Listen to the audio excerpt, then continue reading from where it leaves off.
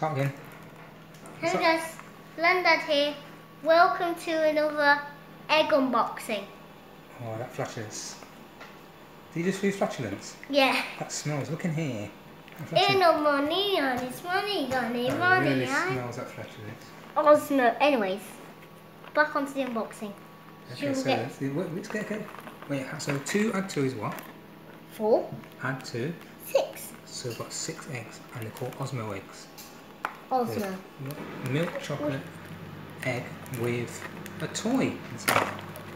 So We had another video of an Ozmo egg. If you want to check it out, uh, please put it in the links below.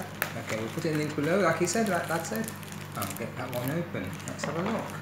So it comes So in a is there, nice t- two eggs in there then? sellotape. There's two eggs in there. Let's do that. Sellotape. Let's do that, mate. Simple. We do need to get some more spinach down here. Not enough spinach. Or maybe. Ah, so So now let's have a look at this then. Let's have a look at how big it is.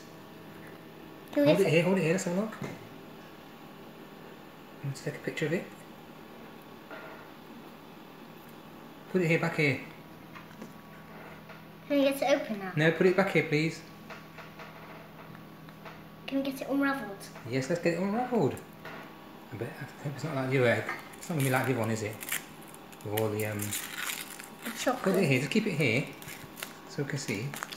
So everyone can see it unravelling. Keep it in one space. one Oh, spot. nice. Keep it in one spot. That's it. Just keep it there, and now you can smash it. Ah, ah, Yeah. ah. Oh, look what you did there. After my blanket can wash. Let's push that chocolate away because you're not eating that. Put some No more chocolate. Let's get this open. The citric acids. Right, spinach, spinach time. Look, one-handed. Spinach time. Have a. What's that then? What kind of? Figure is that? Try and keep it in one space. Ozmos. I think it's something. I think it's like a cartoon or something. What is that? Instructions. This one definitely has instructions. The instructions? Can I look, please? Also, it's something to do with a fun feel or something. Turn around, let's have a look. So different characters doing different things. Look, No, I want to. I want to build it now. But Okay, put it down there then. Um, can I? Can I? hold- Can I? Oh, so it's like a, like a monkey that swings on something. That goes in there.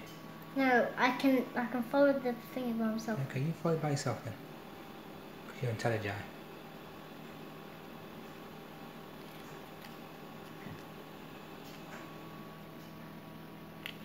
Come in.